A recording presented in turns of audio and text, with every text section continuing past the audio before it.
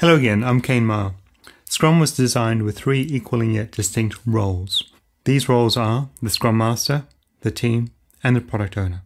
Let's look at each of these roles. The Scrum Master.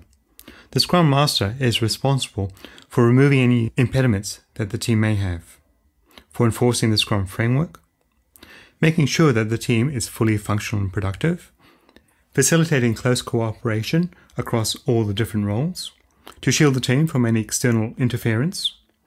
And Scrum Masters are expected to be change agents. They are expected to help the organization change so that it is better able to do Scrum. The team is a cross functional unit whose ideal size is seven people plus or minus two. The team has the right to do whatever is required in order to meet the team goals. They are self organizing, and at the end of the sprint, the team presents the results of their efforts to the product owner. The product owner owns the vision or the desired outcome of the project. They are responsible for the budget or the ROI, and they are responsible for the product backlog. The product owner orders the product backlog in a single rank order from highest priority to lowest priority. Product owners are also responsible for selecting product release dates.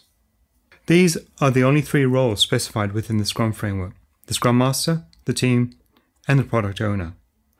Scrum has been described as being hard and disruptive. Part of this arises because of the defined roles. With this in mind, let me ask you a question.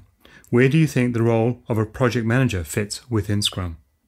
Until next time, thank you.